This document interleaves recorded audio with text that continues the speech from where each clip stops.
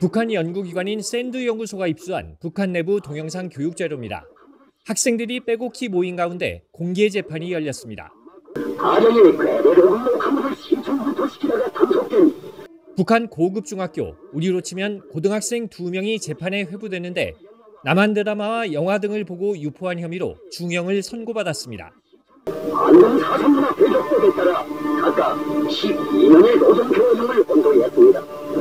학생들에게 수갑이 채워졌고 인생을 망쳤다는 해설이 나옵니다. 외래문화에 유혹돼서 분별없이 돌아치다가 끝내는 자기 앞길을 망치고 말았습니다. 평양 시내에서 포착된 한 여성. 장단지가 드러난 바지에 슬리퍼를 신고 팔이 다 드러난 짧은 소매를 입었습니다.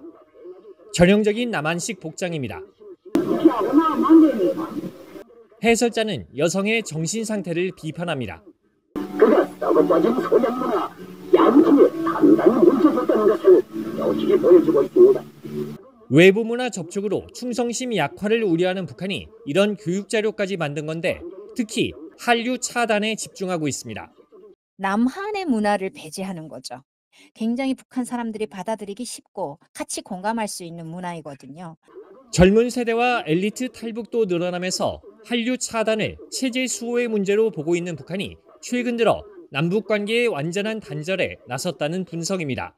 SBS 안정식입니다.